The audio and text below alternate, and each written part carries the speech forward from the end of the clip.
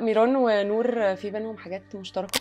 حاجة بتحصل في إطار الشغل. وانس إن إحنا مخرج قال كات خلاص ده خلص. بحس إن الشخص أو الراجل اللي بيفكر بالطريقة دي محتاج يشتغل على نفسه كتير. نور بتفكرني بمرحلة بحبها قوي. تقريبا من 16 ل 18 سنة. كانت مرحلة ضلمة بصراحة. يعني ممكن نتعرف؟ ممكن نتعرف. ميران عبد الوارث ازي حضرتك؟ آه، كلميني عن ميران. عايز تعرف إيه؟ طيب اسالني أسئلة. عايز أعرف ميران هي نفسها اللي كانت في ريفو ولا هي ميران شخص تاني خالص؟ أه لا ميران ونور في بينهم حاجات مشتركة. أه مش النصب والله بس آه، حاجات آه، حاجات تانية كتير يعني. وأعتقد في في مرحلة عمرية تانية من حياتي يعني مش المرحلة دي. وأنا بحس أصلا إن اي اي شخصية فنان بيلعبها لازم تبقى جواه حتة من من يعني مش صعبة قوي تروح تعمل حاجة. عشان كده أصلا ال casting director أو المخرج أو الكاتب هيشوفوا فيك الشخصية. عشان بيبقى في حاجة جواك آه، انت. في الأول وفي الآخر لما بتزعلي بتزعلي بطريقتك ولما بتغضبي بتغضبي بطريقتك. بالظبط. بس قصدي إن في حاجة في طاقة نور أعتقد هم لما شافوا ميران حسوا إن ده في ماتش بالظبط. فاهم قصدي؟ ف... فلا نور آه، نور بتفكرني بمرحلة بحبها قوي تقريبا من 16 ل 18 سنة كانت مرحلة ضلمة بصراحة يعني كانت مليئة من الاكتئاب. بس وده كان بسبب اللخبطة اللي هو بيحصل في سن المراهقة والكلام ده. فنور كانت عمرها أكبر شوية في المسلسل. ولكن اللي كانت بتمر بيه من اللخبطة الشعورية وال... والأحداث ال- اللي هي التقيلة اللي بتحصل في حياتها دي أعتقد أنا حسيت بيها في المرحلة دي فكان عندي ريفرنس فاهم كنت عارف أرجع أرجع لحاجة آه، أطلع منها نور يعني. فطلعت من الحتة دي يعني الناس اتبسطت قوي من دورك آه، الحمد في. المسلسل وحبوكي وأنت. ما شاء الله عندك يعني وشك قبول على الشاشة وعندك طاقة. حلوة. بس نفس الوقت في ناس زعلت منك يعني و... لا ده ناس يا نهار أبيض. انت مش فاهم حاجة إيه اللي حصل أنا معاك؟ لسه بتحاسب على فلوس شادي وأنا مش عارفة أعمل يعني خلاص بقى فاهم؟ اللي هو اي حاجة أعملها في حياتي بفلوس شادي؟ وأروح أصبغ شعري يقولوا لي بفلوس شادي.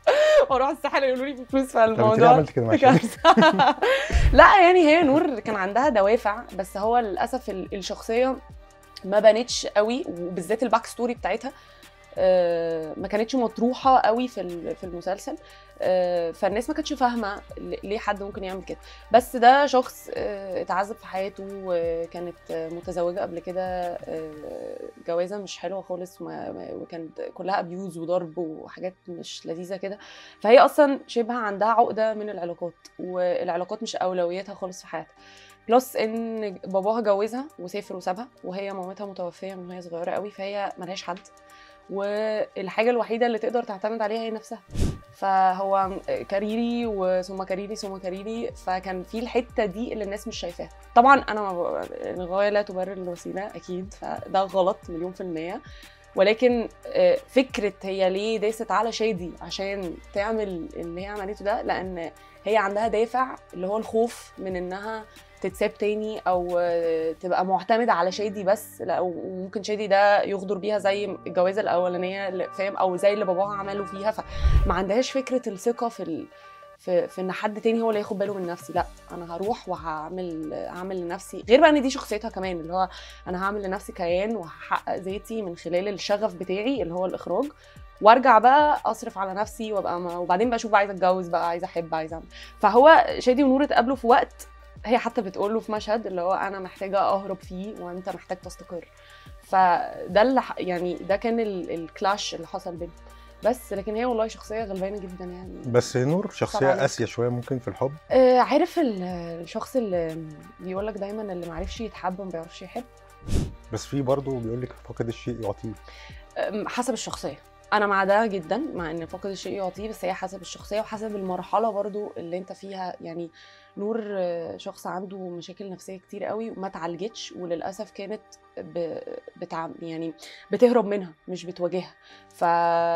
فقابلت الشخص اللي هي فعلا هي كانت عندها مشاعر لشادي حقيقية جدا ولكن مش مش ده الح... يعني مش قوية لدرجة إنها ت...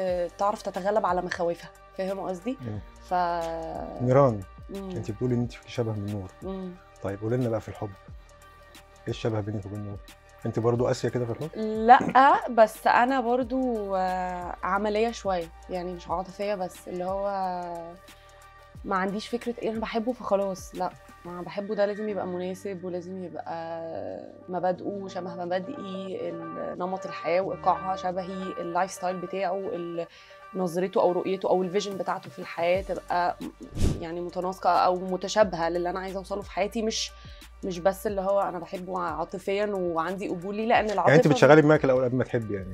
آه يعني بقيت. أفكر الأول بعدين أحب. في الأول ما كنتش كده بس الواحد بقى بياخد على بقيت. خدته على عيني كتير. خدت على عيني كتير والله. احكي لنا بقى. هما كام مرة طيب؟ هو في في حد دلوقتي؟ آه لا. مفيش دلوقتي. لا. طيب آه، احكي لنا انت بقى كده اللي انت شايفة ان هو محتاج يتحكي. اصل الناس بتحب الحاجات دي قوي لا والله بس يعني هو من غير ما ادخل في تفاصيل يعني عشان بصراحة ما بحب لا. لا. لا لا. كمان نروح نشرب قهوة بقى وأحكي لك بس.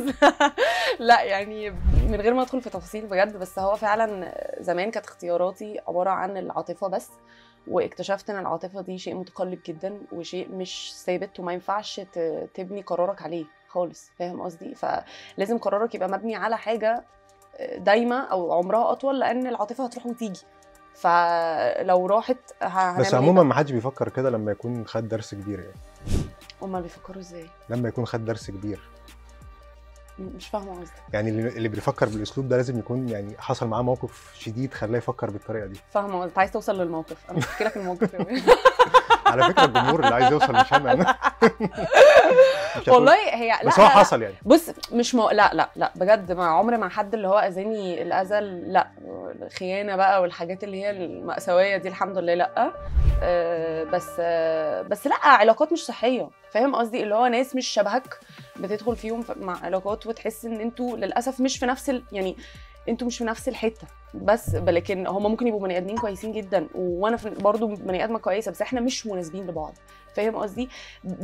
اختياراتي وقتها كانت ليها علاقة بإن آه، أنا مشدودة له عاطفيا أو أو حباه أو أو أو بحبه بس. ف لكن ما ما كانش عندي النضج إن أنا أشوف هو هو ده بني آدم مناسب ليا وال career ي. طب أنا أصلا career ي ده مش شخص إيه يعني مش حاجة أي شخص يعرف يتقبلها ويفهمها بالذات أصلا في المجتمع بتاعنا وإحنا مجتمع إلى حد ما ذكوري بتشوف إزاي فكرة اللي هو أنا مش هتجوز ممثلة أنا مش هخلي بنتي تشتغل ممثلة آه الحاجات دي بتشوفيها إزاي؟ يعني في ناس كتير يقول لك أنا ما اتجوزتش ممثلة. فاهمة جدا. أه بشوفها إزاي؟ هقول لك على حاجة. أه بشوفها بتفهم بصراحة.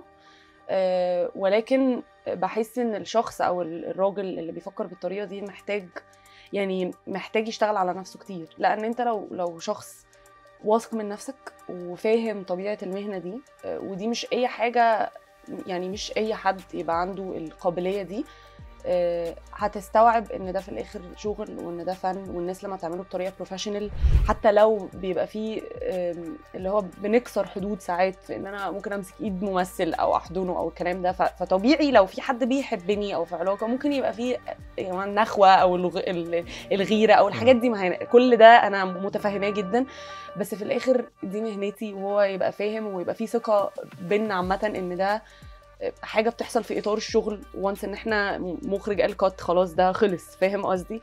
ف بس هو برضه في الأول وفي الآخر زي ما قلنا ما هو في جزء منه مشاعر شخصية ما أنا في الآخر ما بقدمش دور من الهواء يعني أنا مش حتة بلاستيك طالعة على الهواء ما- طبعا مليون في المية مليون في المية بس وعشان كده شغلانتنا مرهقة جدا وعشان كده مش أي حد يفهمها خالص.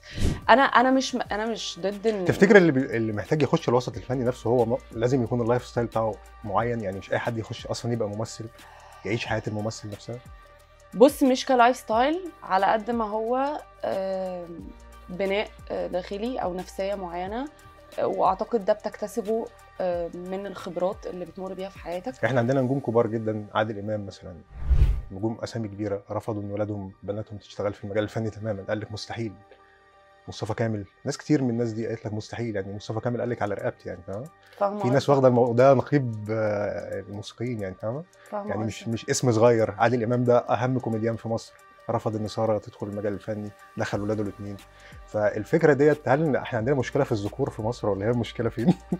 آه، أنا بصراحة مع احترامي طبعا ل- يعني بس طبعاً أنا مش ده. آه يعني أنا يعني أنا ضد التفكير ده بصراحة مش عشان حاجة بس أنا لو هتقبل حاجة لابني لازم آه طبعا مع, مع يعني أنا فاهمة إن ال... إن إن فكرة إن البنت آه، بيبقى فيه نوع من أنواع الغيرة والخوف ده عليها. ولكن يعني أنا ما لقيتش ده من بابا خالص وبالعكس عشان كده احترمته جدا. يعني لقيت إن هو بيعمل حاجة وبيعملها مع بنات تانية. طب ده هل ده معناه إن أنت شايف إن البنات اللي أنت بتشتغل معاها مش محترمة؟ فاهم قصدي؟ يعني يعني ما أنت لو أنت شايف كده يبقى أنت مش مش بتحترم زمايلك. فلو صح. أنت مش بتحترم زمايلك يبقى هو في ليه قابل على زمايلك كده؟ ما تقبلش على أولادك كده.